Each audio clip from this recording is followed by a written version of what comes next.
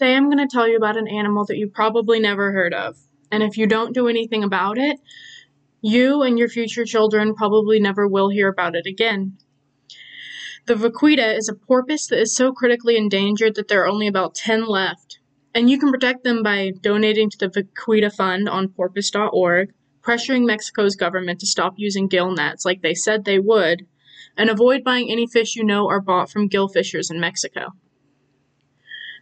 The vaquita were discovered in 1958, and originally the numbers were around 600. Now the numbers are closer to 20 or 10. And without help, eventually they won't be here at all. The vaquita are the world's most endangered sea animal, and they're only going to keep dwindling. The vaquita need help. They can't save themselves. And at the rate their population is dropping, there's not much time. From 1958 to now, 600 versus 10.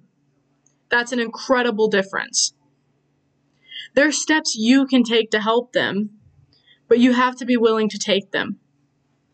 You can donate to porpoise.org on the Save the Vaquita Fund. And if you can't do that, then you can share the link so someone else can. You can call Mexico's government and talk to their wildlife department about stopping gill fishing. The World Wildlife Fund talked to Mexico's department and they got a deal that they would stop using gill fishing but they haven't. They still let people gillfish illegally and sell their products through that. We can't let this continue if we want to see this porpoise live to see another 10, 20 years. They could be gone before we know it. And once they're gone, there's no getting them back. It only takes a couple minutes of research to find out what places you're buying from buy from Mexico's gillfishers.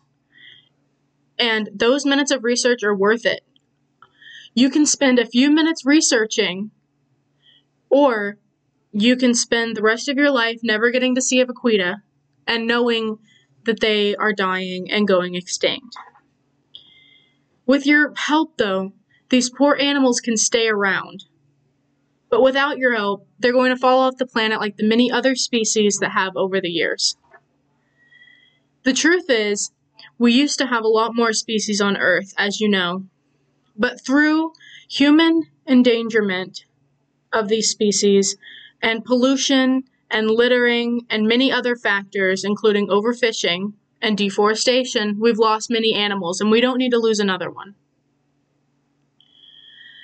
This isn't an issue with one species or even one group of species, it's with all of our animals on Earth, but the vaquita need your help more than almost any other animal right now.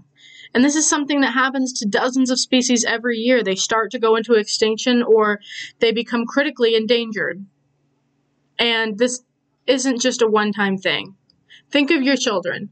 Think of what they would think if they knew that you didn't do everything that you could to save these animals. Children love animals. They love animals more than anything else, and children are pure of heart. And if they could, they would save the vaquita themselves, but they don't have that power, but you do. You have the power that one day your child can walk on an earth where they can go to the Gulf and see a vaquita swimming and know that that is not one of 10 vaquita, but one of 600, 700, 800. So please do your research and please find out where your food comes from. Besides the vaquita, there are plenty of other places that treat animals badly that make it to where your food may be cheap and it may be good, but it's coming from somewhere that tortures animals. Even if you're not rich, just donate a dollar or two to porpoise.org. And if you can't, just share the website. Show other people the website. Someone is bound to see it and someone is bound to care and have the materials to help. Remember that nothing changes without someone else changing it and that if that someone isn't you, it might be nobody. These animals need our help, and without them, the world is going to be a dimmer place. Just because you haven't heard of the animal doesn't mean that it's not important. And just because the animal is gone doesn't mean it won't be missed. So please, I endear you. Please think of the future of these animals, the future of the earth, and the future of all animals. And please, do what you can.